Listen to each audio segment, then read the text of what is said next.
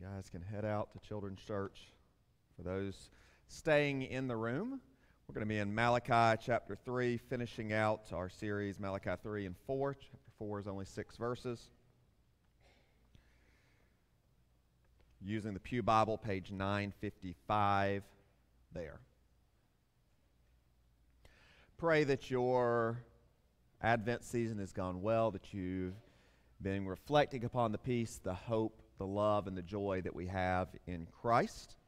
And I pray that you've heard God's message through God's messenger, Malachi, in this series. That you've not just heard what he wanted the original audience to hear, but the similarities in the ways that he is calling you to live with him in first place in your life. We've looked at how we are to give our first and best to God, not our last and leftovers. We've seen God's reprimand of those that had religious power but that were not using it for God's glory.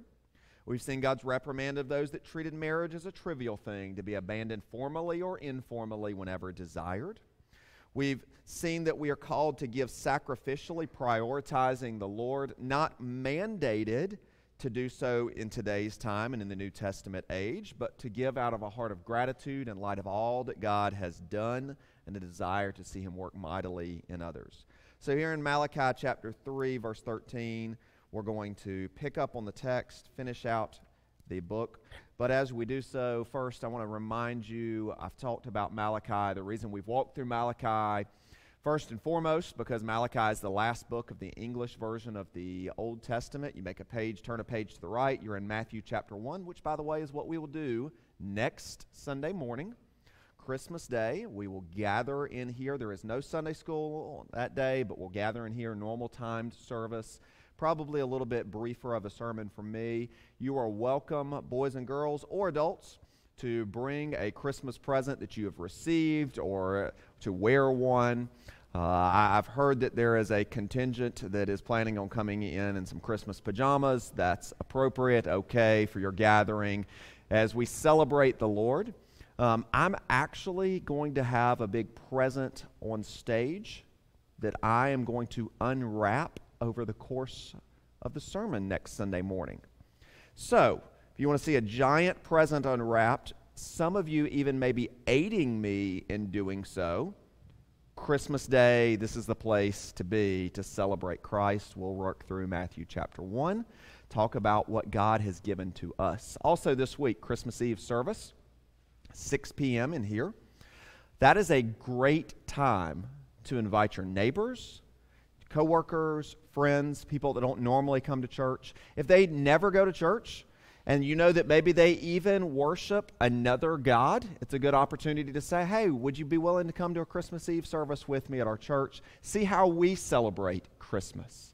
And I promise you, we'll be proclaiming the gospel. I appreciate your prayers as we do so, so working through God's story and the sending of Christ. And I'm going to call upon people, all of you, a little foretaste of Christmas Eve, to be willing to give it all to the God who gave his son for you, who tra- calls us to trade in our trinkets for his eternal treasure in Christ. So that's where we're going Christmas Eve. Look forward to seeing many, many of you and your families here. I know that's an important tradition for many of you. Look forward to seeing you here Christmas Eve. Okay? Let's go into Malachi chapter 3. Your words have been hard against me, says the Lord.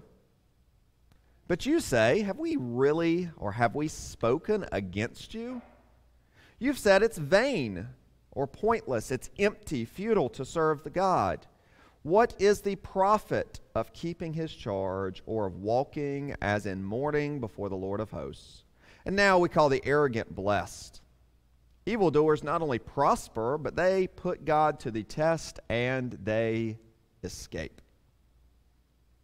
Then those who feared the Lord spoke with one another. The Lord paid attention and heard them, and a book of remembrance was written before him of those who feared the Lord and esteemed his name. They shall be mine, says the Lord of hosts, in the day when I make up my treasured possession. And I will spare them as a man spares his son who serves him. Then once more you shall see the distinction between the righteous and the wicked, between the one who serves God and the one who does not serve him.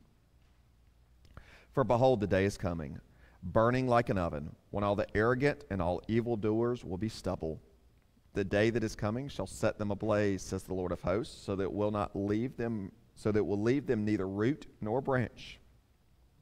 But for you who fear my name, the Sun of Righteousness shall rise with healing in its wings. You shall go out leaping like calves from the stall, and you shall tread down the wicked, for they will be ashes under the soles of your feet on the day when I act, says the Lord of hosts. Remember the law of my servant Moses, the statutes and rules that I commanded him at Horeb for all Israel. Behold, I will send you Elijah the prophet before the great and awesome day of the Lord comes. He will turn the hearts of fathers to their children, and the hearts of children to their fathers, lest I come and strike the land with a decree of utter destruction. We see in this text, these verses, a great contrast between the reward for the righteous ones that have sought God and the wicked who have denied God. We see the final how from the book of Malachi. Boys and girls in the room, a couple weeks ago I told you there were a number of hows asked in the book of Malachi. How many do anybody remember how many hows are in Malachi? Seven. Good. And each one is asked with a terrible attitude. Okay? Do not ask your parents questions with this type of attitude, and you should not ask God questions with this type of attitude. It's legitimate to come before God with your questions, but the way that they ask their questions reveals that their heart doesn't really want God or even an answer. They want to prove themselves. It's full of teenage attitude and rebellion. Really, God? We don't actually think so. Prove it, God. You're wrong. We're right.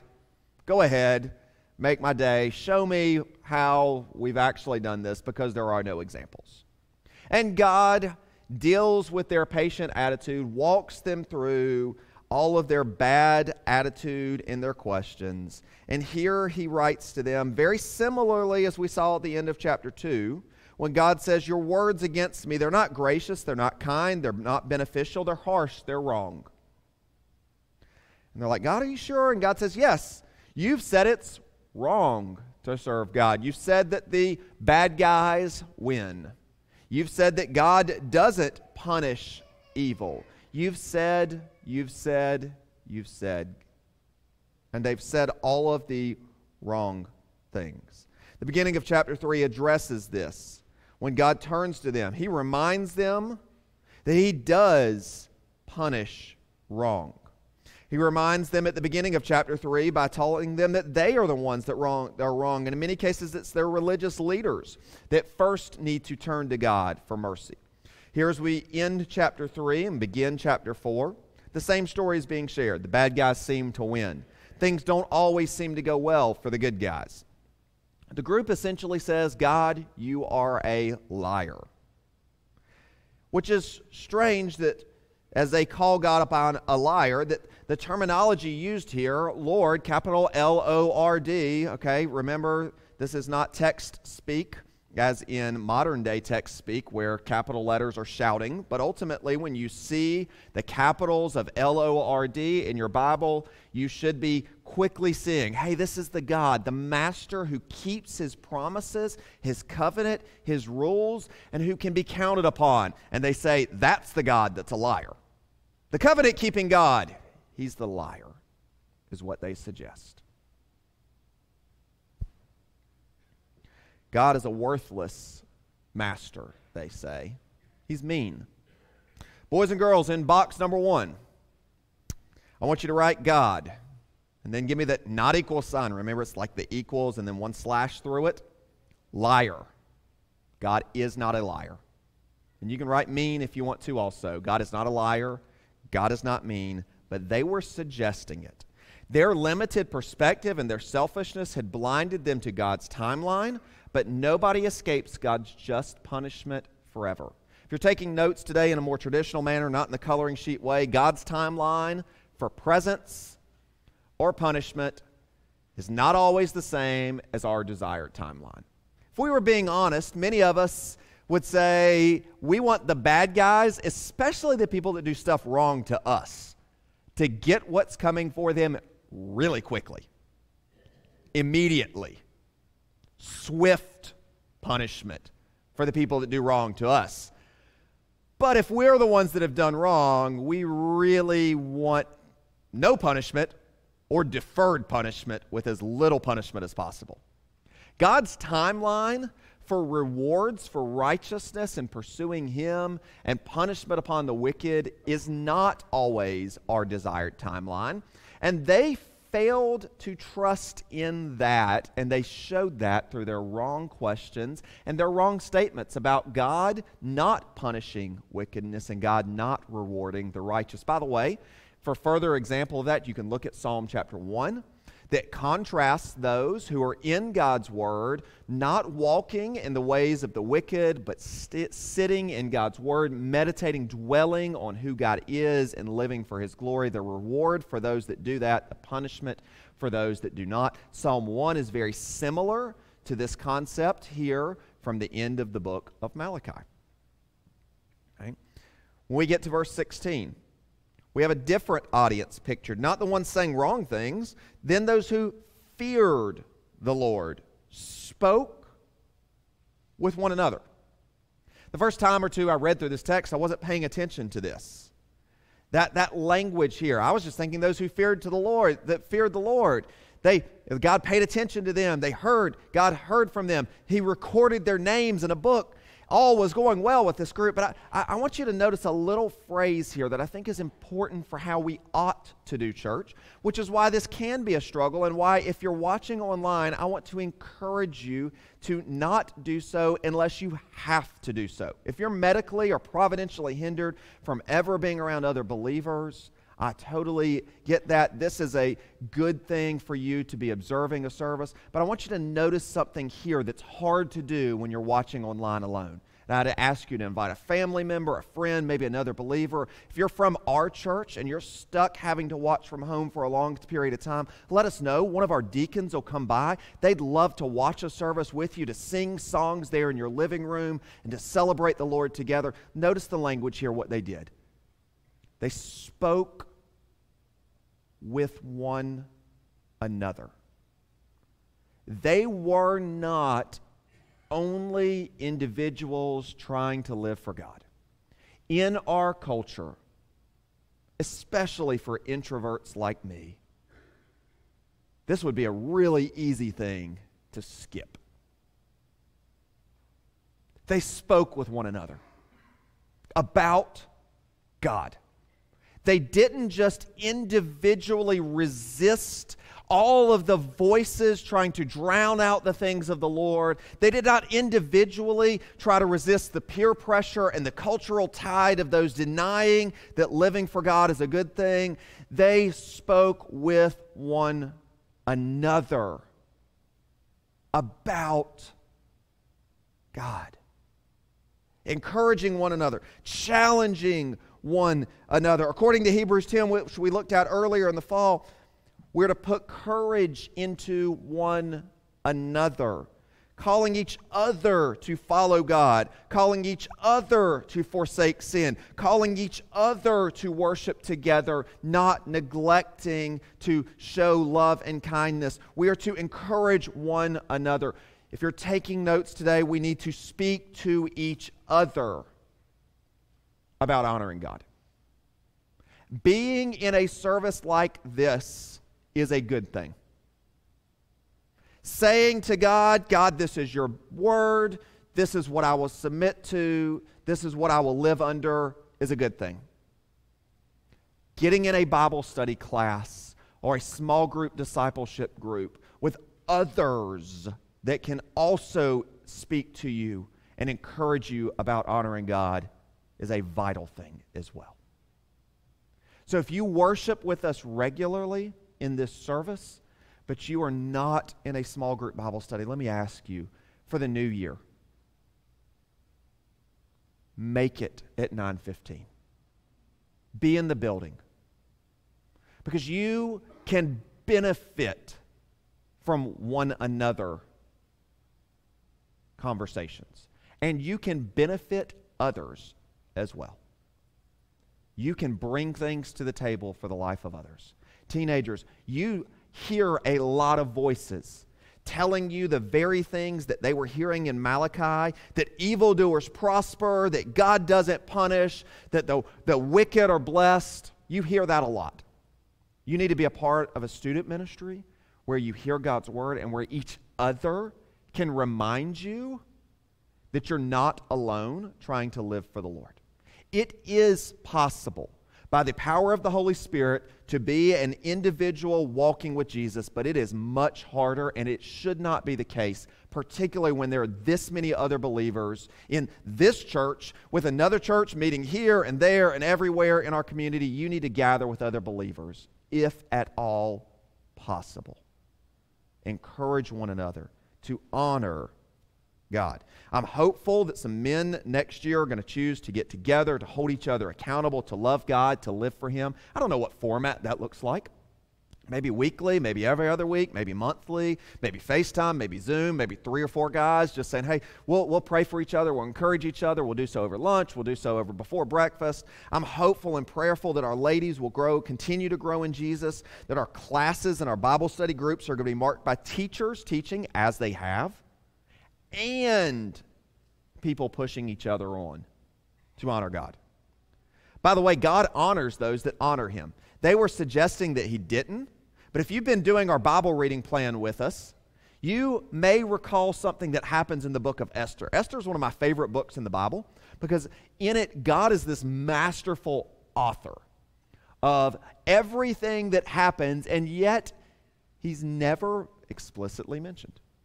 There's something that happens early in the book of Esther where it looks like Mordecai, he reports out that the king was about to be killed, and it looks like he's forgotten that his good deed, the king survives, and Mordecai's never rewarded. It's like, hey, I did the right thing. Like, I protected the king. Man, can't I have like at least a Christmas present? And Mordecai gets forgotten. It's like, just go back to your normal life, Mordecai. You saved the king. Good for you. Several chapters later, as wicked Haman is about to do his wicked thing and request that Mordecai, his arch enemy, and all of the other Jews are executed, at that moment, God brings to the king's attention the actions of Mordecai. And Haman goes, remember, some of you remember this. Haman goes into the king's presence to ask to be honored himself or thinking the king's going to honor him. The king's like, hey, uh, Haman, you're a dude that knows a whole lot about arrogance and pride. How could I honor a guy? Like, you're a guy that thinks about your own honor all the time. How could I honor a guy? He's like, oh, yes, the king wants to honor me. This is good. This is how I should be honored. And the king says, oh, that's a great plan. Now you should parade about Mordecai, your arch enemy, and honor him in that way. God never forgets the good deeds or the wrong deeds of his people or anybody. Nothing escapes his attention. Boys and girls in box two, I want you to draw a person on a horse because that's what Mordecai got to ride. And I want you to write God rewards. Because in that story, very similar timeline, by the way, very similar time as they are claiming God doesn't actually reward those that pursue him and do the right thing. They had this story of Esther and Mordecai and Haman, and God rewarding, but they had a bad memory. Maybe they hadn't drawn it enough in box two that God rewards those who pursue him. God rewards those who do the right thing. Those that honored God were writ- written in a book here. They were remembered by God. By the way, I don't think this is like the book of life from Revelation for those of you curious. I think this is just a record. God is keeping record, and I think they were keeping records here. They were keeping records of those that promised to honor the Lord in their culture and they commit to serving Him. When we get into January as a church, it will be time for us to renew our church covenant and our annual agreement that we are going to try to make the most of our time before the Lord. I look forward to us doing that. I look forward to us recording those that are committing to honor the Lord in our culture anew. And again, we do that annually because we recognize how easy it is to slip and to fade away. And we recognize how important it is to affirm our desires to be a part of our church, to pursue God, to love God, to make Christ known amongst the neighborhoods and the nations. It's just a time of us affirming again our desire to walk with the Lord and be known for those things that Scripture calls us to. It's a public time. Just as they gathered and evidently had enough people that knew who was choosing to honor the Lord in a culture that didn't. We see language here in chapter 3, verse 17.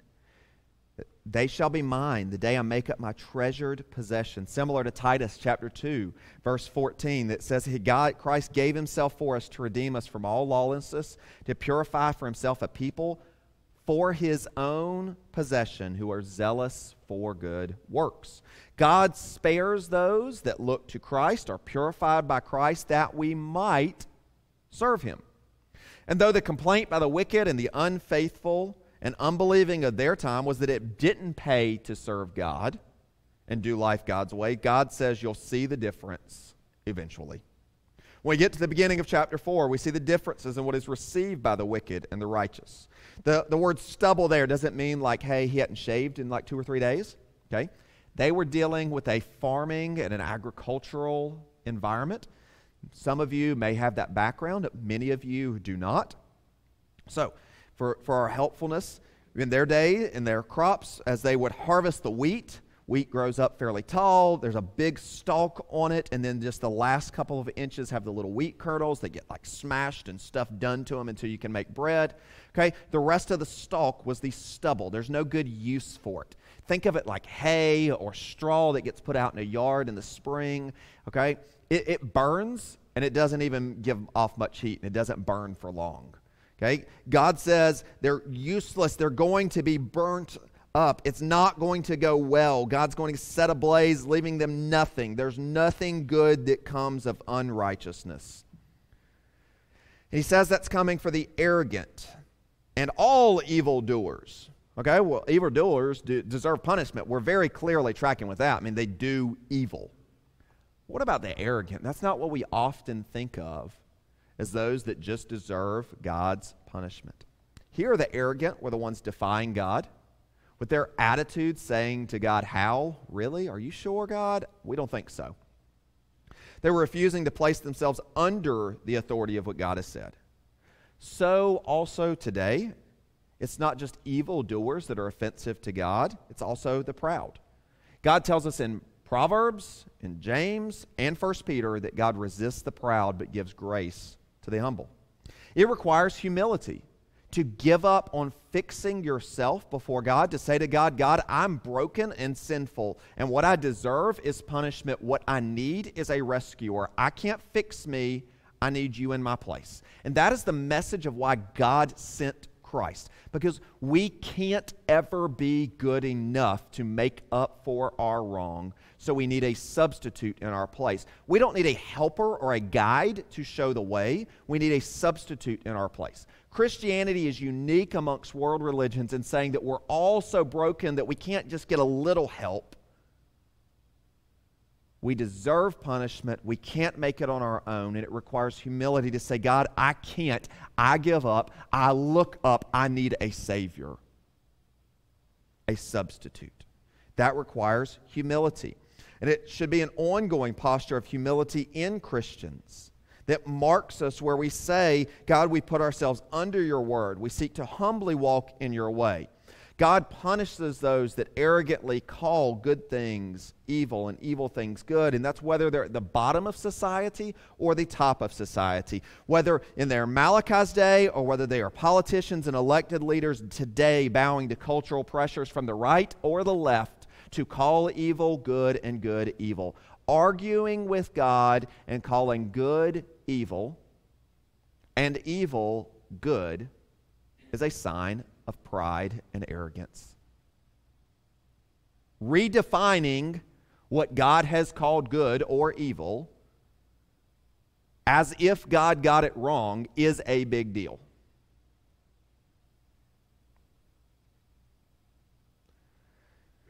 That contrast between the righteous and the wicked carries throughout the pages of Scripture. Earlier, I referenced Psalm 1. Over in Revelation 21, near the end of the Bible, we have this contrast. Verse 5 And he who was seated on the throne said, Behold, I am making all things new, and write these down, for these words are trustworthy and true. And he said to me, It is done. I am the Alpha and the Omega, the beginning and the end. To the thirsty I will give from the spring of the water of life without payment. The one who conquers will have this his heritage, and I will be his God, and he will be my son. But as for the cowardly, the faithless, the detestable, murderers, sexually immoral, sorcerers, idolaters, and all liars, their portion will be in the fire, lake that burns with fire and sulfur, which is the second death.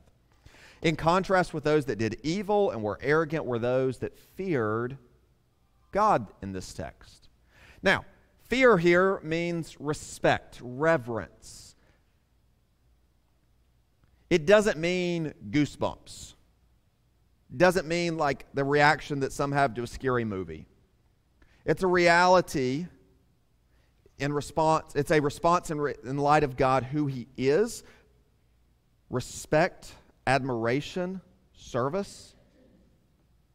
It's a reality of who God is, and we are called to respond with respect and fear. But I'd also suggest that if you're going to be scared of something and have goosebumps at something, it probably shouldn't be scary movers or spiders, but it ought to be the reality of standing before God and receiving the punishment for your own sin and rejecting what you're hearing today, which is that there is a substitute in your place, Jesus Christ, that you could trade in your sin for his righteousness, that you could trade in your purposelessness for his purpose for you, that you could trade in all of those bad things, receive all of those good things. I'd be a whole lot more scared of standing before God and saying, God, I didn't want to do it your way, or I decided to put it off until later, and that later never came, than I would have spiders or scary movies or standing in front of people speaking or any other number of things that scare people in our culture. Be more scared of God than anything else. But ultimately, here, the text calls to us for fear as in respect, honor, and serve. And those that respected and honored and served God cared more about his reputation than their own. And according to verse 2, the Sun of Righteousness for them rises with healing in its wings. Now, it's unclear what the Sun of Righteousness here might represent. There's a lot of scholarly discussion on it. I, I go with the early church uh, general opinion that the Sun of Righteousness here is a description or a title for Christ as the Son of Righteousness. I do so because just a couple of more pages to the right in the Gospels, in Luke chapter 1, at the birth of John the Baptist, Zechariah, his father, prophesied this about the coming Christ and the coming child, John the Baptist. You, child, will be called the prophet of the Most High, John the Baptist there. You will go before the Lord to prepare his ways, to give knowledge of salvation to his people and the forgiveness of their sins, because the tender mercy of our God. And here's the language that I think refers to from Christ, whereby the sunrise shall visit us from on high to give light to those who sit in darkness and the shadow of death, to guide our feet into the way of peace. I lean that the Sun of Righteousness here is Christ this is a looking ahead to Christ.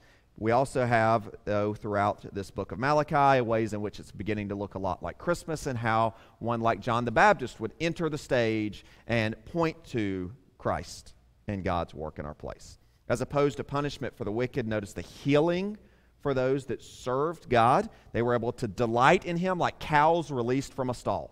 All right, boys and girls, raise your hand if you've seen a real life cow in the last week. Not a Chick fil A cow. Not a I ate the burger cow. Okay? Boys and girls, raise your hand if in real life, not on TV, you have ever seen a cow released from its stall. Okay, some of you have seen a cow released from its stall. It's been a little while though, okay? All right, boys and girls, raise your hand if you've ever seen a dog let out of its cage after being in it for a couple of hours. All right, we got a few more hands here. Okay. Parents, raise your hand if you have ever, or adults, raise your hand if you've ever seen a kid let out at Christmas break all sugared up and ready for a two week break. Okay, so I'm going to modernize this translation for a minute. This is the Jason authorized version. I'm being very careful here. In the original Hebrew, for our modern culture, They were let out, leaping like kids on a sugar high at Christmas break from school. Okay? This is a picture of excitement. It's a picture of excitement here. Like they're leaping like calves from the stall. That was something they were more familiar with. We're very familiar with kids released from school for Christmas break, all on a sugar high from a big week. We're familiar a little bit with dogs and the energy that they will often blast out of their cage with, running around the room four or five times. You're having to train them not to jump on people when they first come out of their stall. Like that is the energy and the goodness of God in our lives. Like, as believers, we should have that same joy at Christmas and all year long that comes from trusting in and treasuring God's gift in our place. As Christians, we should be joyful people who delight in the Lord, not dull, but delight in Him. Like calves leaping from their stalls, dogs let out of their cage, and kids let out for Christmas break. We get to verse 4. Yep, verse 3. Sorry, we have that. They tread upon the wicked, the righteous rule, the ashes under the soles of the feet, is what the wicked are in the day when I act, says the Lord of hosts. In addition to the great delight, verse 3 is a picture of the righteous reigning. So we find that God rewards those who fear and love him and serve him, and he punishes the wicked. So, boys and girls, box 3. You can divide it in half. I need two presents or two boxes in there. And in your two boxes in box 3, your two presents in box 3, I want you to put lots of smiles in one all types of emojis that represent happiness. And in box number two, all types of emojis and faces that look sad and are crying and are angry and not happy. And then I want you, at the end of your drawing all of that, I want you to circle which one you want to be. Which one do you want to have? Because this text calls upon us to recognize the goodness and delight of God and the punishment and the misery of those that do not delight in Him. The way we receive that eternal joy is to trust Christ as our Savior now. All other ways result in the punishment that we deserve for our sin. When we get to verse 4, we have a call to remember the commands, the actions of God given to Moses, the ways of life that should mark us as we put God in first place in our life. And in the Bible, remember doesn't just mean to think about something or even to write it down. In the Bible, remembering involves a call to action. If you're taking notes in the Bible, remembering in the Bible, sorry, in the Bible, remembering involves a calling to mind and a putting into action. It's not enough to put into your brain that God deserves your first and best, not your last and leftovers. It needs to actually occur. It's not enough to put into your brain and remember up here alone that God cares about the way that you think about marriage. It's not enough for religious leaders to grow big brains that know lots of things about God because they learned about it in seminary or Bible conferences or books or anything like that, but to abuse their power instead of walking with Him and leading others to do the same. It's not enough to put into your brain that God has shown you mercy and you ought to give to Him and trusting that to a local church. God expects you to actually do so. We are to remember and to act. We are to use our brains and to walk with God, living for Him. Boys and girls, on your final box, draw a brain and then draw a person walking. Because it is our brains that should be remembering and our lives that should be walking out the things of Scripture. When we get to verse 5 and 6, we see the promise of Elijah a new Elijah like John the Baptist that would turn hearts within families back to each other, away from their wicked rebelliousness that exemplified, was exemplified in their family when their families had great strife. And the gospel can still do that today. For some, Christmas is a really hard season because you've got a lot of strife in your family. The hope for your family is in the gospel. But also for others, particularly in other places in the world, there's great strife within their family because they have trusted in the gospel. So let's pray for those that are experiencing persecution for that. Let's pray that the church that they are hopefully able to attend and gather with other believers would become a new family for them. And let's pray for the hope of the gospel to turn hearts of fathers back to children, children back to fathers, as opposed to the broken relationships in the home that characterize chapter 2, the lack of godly offspring. We have a change here when God works in lives. Today, we've all disregarded God's rules. And when people in our society call evil good and good evil, people in our society pretend or say that God isn't watching. God is still showing mercy, not immediately bringing the fiery judgment of chapter 4, verse 1, and his mercy should bring about our repentance. If you've never trusted Christ as Savior, either because you've never understood that you needed to, or you've been delaying that, let today be the day that you decide I'm giving up on me. I can't fix me. I need a Savior, and I put Christ in charge of my life. The days of God waiting don't last forever. The days of silence from the end of Malachi to the first Christmas when Christ was born were about 400 years. That seems like forever to them. But Christmas was coming and the Redeemer was coming. The hope of the nations was coming. He would provide peace for families and peace with God was coming, but so judgment was also coming for those that their earthly lives ended for all eternity that judgment. That same thing, now we've been waiting 2,400 years for that judgment, that final cataclysmic day of the Lord when life as everyone knows it now ceases and we enter into a new timeline for all eternity, but with the righteous rewarded and the unrighteous or the wicked who are stuck in sin, not trusting in Christ as Savior, punished eternally. It looked like the day of the Lord wasn't coming, but it was at any moment. And on that silent night, Christ came.